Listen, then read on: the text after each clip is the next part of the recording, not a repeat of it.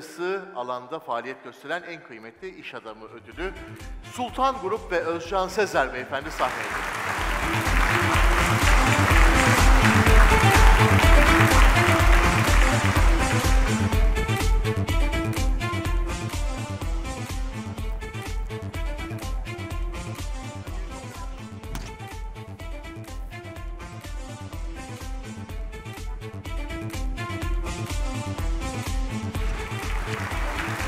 buyurun. Teşekkür ederim.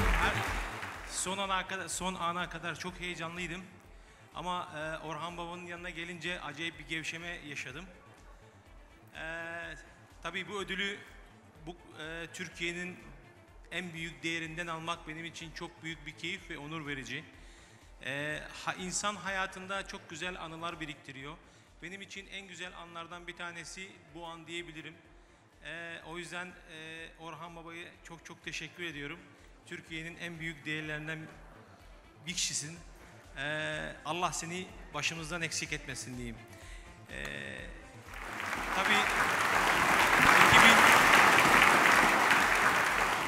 2000, 2009'da bizim Çin hikayemiz başladı. Tabii bu hikaye her yıl ödül alan bir hikayeye dönüştü e, yerli ve milli değerlerimizi en güzel şekilde taşımak ve o değerleri yukarı taşımak en büyük hedefimiz oldu. Ben rahmetli Sabancı ile bir kere görüşmüştüm. Allah rahmet eylesin. Bana her zaman verdiği bir çok önemli bir nasihat vardı. Evlat her zaman başarıya odaklan. Başarının mükafatını para olarak alırsın diye. Ve her zaman kulağıma küpe oldu bu. Tabii bu vesileyle di- buradaki tüm sanatçılarımıza ve eee, buradaki heyete çok çok teşekkürlerimi ediyorum. Tabii benim eee, Çin'deki uzak doğuda en büyük eee, restoranlarına sahibiz. Bu anlamda benimle beraber olan sevgili eşime ve çocuklarıma ve abilerime çok çok teşekkür ediyorum. Onlar olmasa bu başarıyı yakalayamazdım. Bütün bana oy veren takipçilerime, teknik heyete ve buradaki tüm sanatçı ve değerli büyüklerimize saygı ve sevgiyle selamlıyorum. Çok teşekkür ederim. Herhalde biraz fazla konuştum değil mi? Vallahi ben yapmadım ama teknik e, uyarı geldi.